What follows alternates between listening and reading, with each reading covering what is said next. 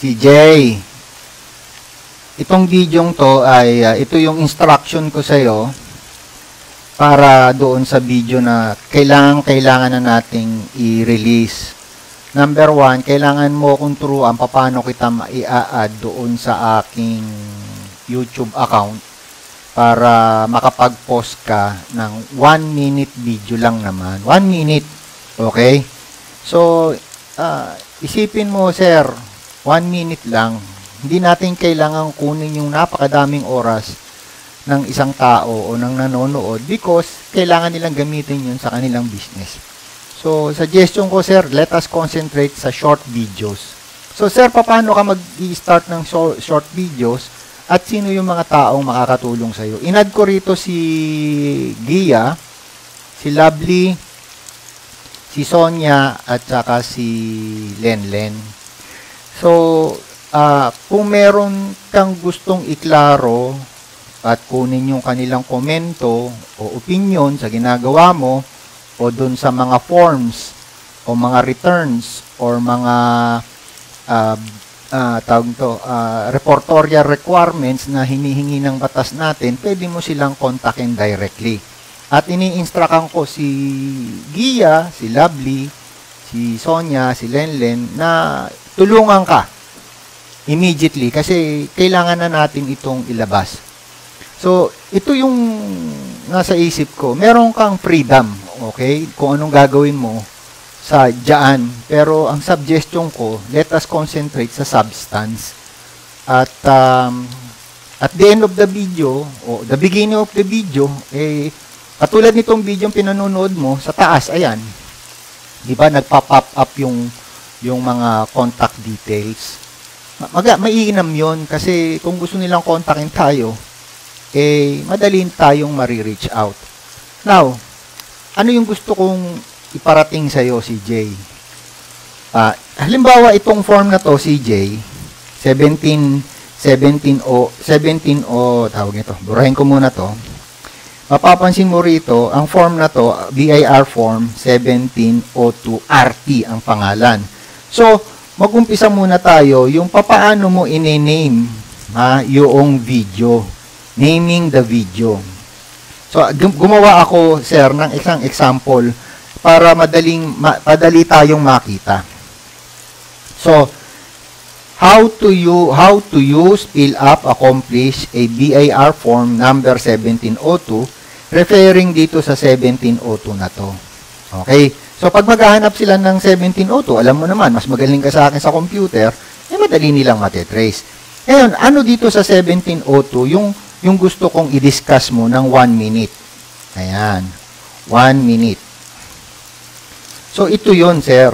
Ito, 1 minute discussion yan. Okay?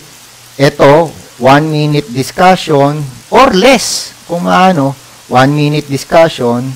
Ito rin, 1 minute discussion. Itong number 6, 1 minute discussion hanggang dito.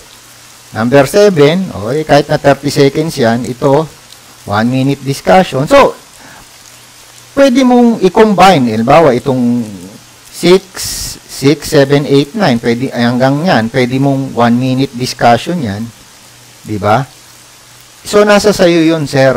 So, halimbawa, di-discuss mo, paano ilagay yung tin? Saan kinukuha yung tin? O di, ito, ini-issue to ng BIR. So, in-issue sa'yo ng BIR, ang inisyu sa ng BIR is Certificate Authorizing Registration. O doon sa Certificate Authorizing Registration, merong nakasulat doon na TIN. O di kopyahin mo lang yon. O paano paglalagay dito? 1, 2, 3, 4, 5, 6, 7, 8, 9. Para saan to? Ayan, para sa branch. Sample lang. So, makakatulong sa'yo again, si Gia, si Lovely, si Sonia, oh, aka Onya, at saka si Jocelyn, aka Len. Oh. Gawin na natin, sir. Gawin na natin. So, nakalagpas na yung 15 days at uh, yung binigay mo sa akin, pinag-aaralan ko pang hanggang ngayon at uh, i-incorporate ko yun sa report ko kay Rico. Now, again, paano mag-name? So, ito lang sir ang, ang, ang pag-name.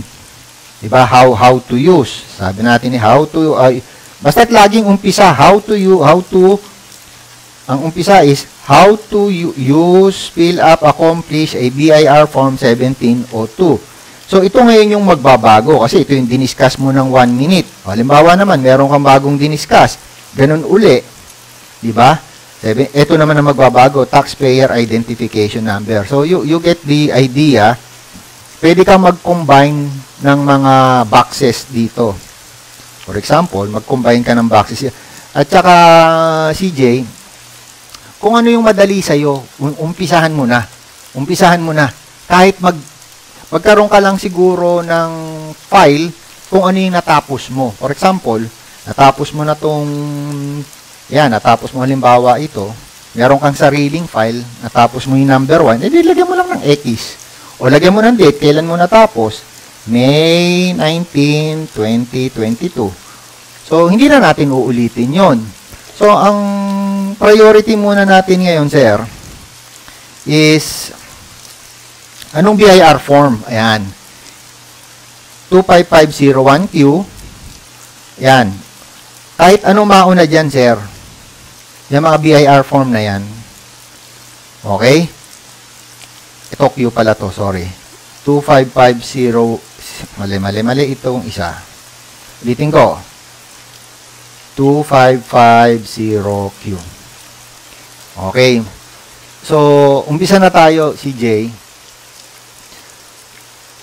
Ah, matalino kang tao at ah, gagawin mo kung ano yung madali. Ilagay mo yung sarili mo doon sa shoes or uh, posisyon ng mga taxpayer. Okay? Itong ginagawa natin, napakalaki ng demand.